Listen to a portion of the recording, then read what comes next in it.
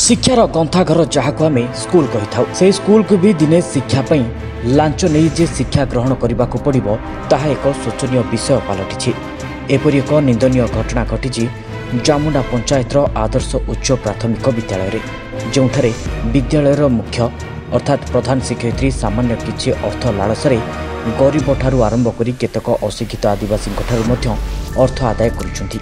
corona ଏପରି ଏକ ପରିସ୍ଥିତି ସୃଷ୍ଟି କରିଦେଇଛି ଯେ ଲୋକମାନଙ୍କର ମୌଳିକ ଉପାଦାନର ଭରଣା ହୋଇପାରୁନାହିଁ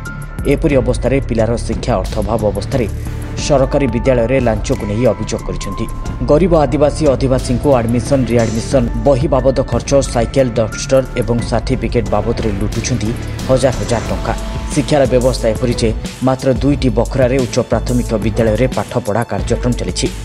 ବିଦ୍ୟାଳୟ ପରିସରରେ ବି ଏପରି ଜରାଜୀର୍ଣ୍ଣ ଅବସ୍ଥାରେ ରହିଛି ଯେ ସ୍କୁଲ କାନ୍ଥ ବର୍ଷାରେ ଓଦା ହୋଇ କେଉଁ ସମୟରେ ଭାଙ୍ଗି ଯାଇପାରେ ଏହି ସ୍କୁଲର ସ୍ଥିତି ଏହିପରି ହୋଇଛି ଯେ ସରକାରଙ୍କ ପକ୍ଷରୁ ମିଳୁଥିବା ମାଗଣା ବହି ମଧ୍ୟ ବିନା ଟଙ୍କାରେ ଦିଆଯାଉନାହିଁ ଯାହାଫଳରେ ଛାତ୍ରଛାତ୍ରୀମାନେ ନାହିଁ ନଥିବା ହଇରାଣ ହେଉଛନ୍ତି ଏହିସବୁ କଳାକାରଖାନାମର ଅଡ଼ିଓ ଭାଇରାଲ୍ ହୋଇଥିବା ବେଳେ ଜିଲ୍ଲା ଶିକ୍ଷା ବିଭାଗ ନିରବ ଦ୍ରଷ୍ଟା ସାଜିଛି ଯାହାର ଅଭିଯୋଗ ଆଣିଛନ୍ତି ବି ଶ୍ରୀନିବାସ ରାଓ ମନ ପରଜା ମନୁ ଭତ୍ରା ଏବଂ ଯୁଗଧର ନାୟକ ପ୍ରମୁଖ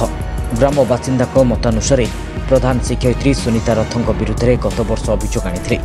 प्रशासन पक्ष सामान्यतम जाँच कटना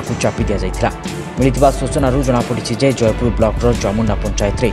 उन्सौँ तिस मस विद्यालय स्थापन गरि नवम दशम श्रेणीले संयुक्त चलित वर्ष दशम श्रेणी र सफलता परे आगामी शिक्षा निमते प्रमाणपत्र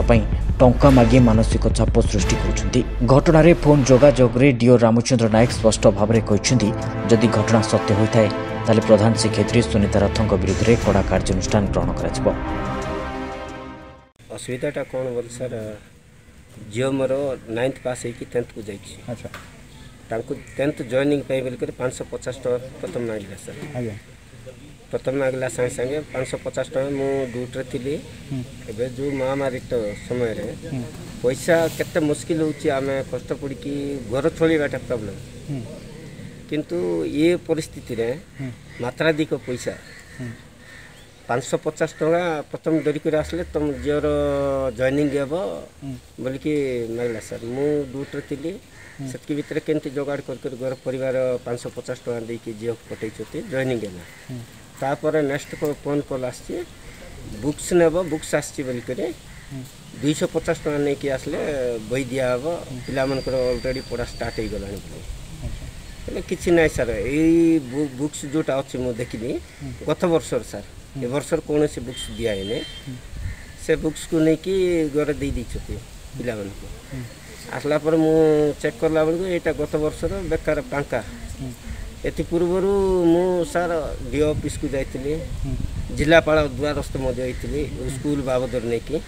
ଏ ମ୍ୟାଡ଼ାମଙ୍କ ବିଷୟକୁ ନେଇକି ଖାଲି ଷ୍ଟଡ଼ି ସାର୍ଟିଫିକେଟ୍ ପାଇଁ ବୋଲିକରି ଦୁଇଶହ ଟଙ୍କା ନେଇଥିଲା ଝିଅରୁ ଗୋଟେ ଖାତା ଖୋଲିବାର ଅଛି ସ୍କୁଲ ତୁମ ନାଁରେ ସାଇକେଲ ପଇସା ଛଡ଼ବ ଇଏ ସେ ବୋଲିକରି ସେଇଟା ପାଇଁ ଦୁଇଶହ ଟଙ୍କା ନେଇଥିଲା ସାର୍ ପଇସା ଟିକେ ନେଇଯାଉଛି ଆଉ ସପ୍ଲିମେଣ୍ଟ ପରୀକ୍ଷା ଦେବାକୁ ମୋର ଝିଅ ସେ ହଜାର ଟଙ୍କା ଦେ ବୋଲିକରି କହିଲା ଆଡ଼ମିଟ୍ କରାଇବା ପାଇଁ